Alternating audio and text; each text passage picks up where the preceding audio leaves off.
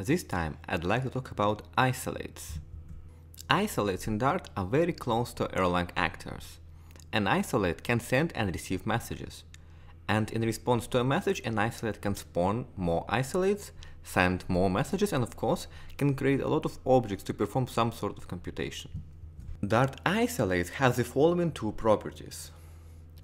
There is no shared state between isolates, and the implication of it is that you won't have to worry about mutexes, locks, race conditions, etc.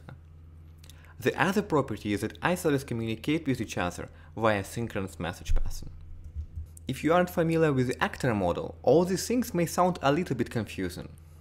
To clear it up, let's briefly look at the metaphor that's often used to explain actors or isolates.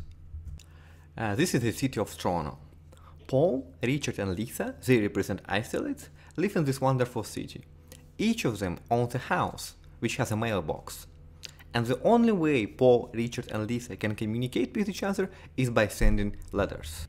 Our friends can do whatever they want inside their houses without talking to each other. Moreover, they can do it concurrently.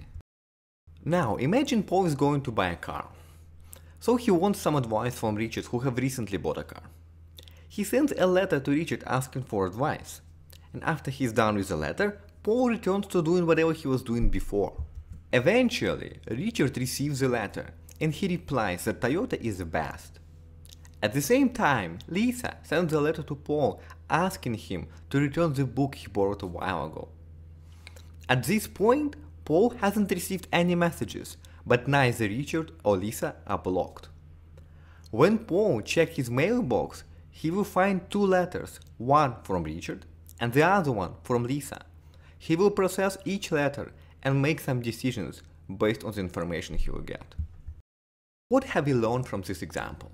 Isolates can operate independently as they communicate via asynchronous messages. All messages are non-blocking, so after a message is sent, an isolate doesn't have to wait for a response. Messages get buffered like letters in a mailbox. A message can contain a return address, but it's not required. All Dart code runs in isolates. The isolate created by the VM to run the main function is called the root isolate. When the root isolate terminates, it terminates the whole VM. Alright, what we have here is a function adding up a bunch of numbers and printing the result. Let's go through all the steps to run this computation in a separate isolate. First, we import the isolate library. Second, we change the signature of the function so it can be used as an entry point for an isolate. The entry point should expect no arguments. Instead, we are going to receive messages. Next, we spawn calculator isolate.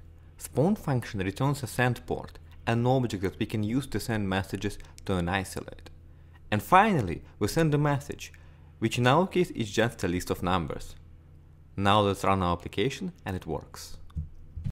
This is a very simple example, but it illustrates a few important points. Any top-level function expecting no arguments can be used as an entry point.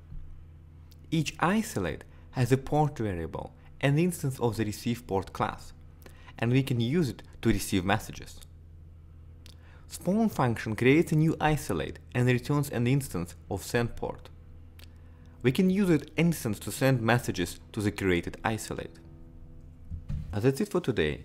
Next time we're going to look at more advanced scenarios of using isolate in Dart. Thanks for watching.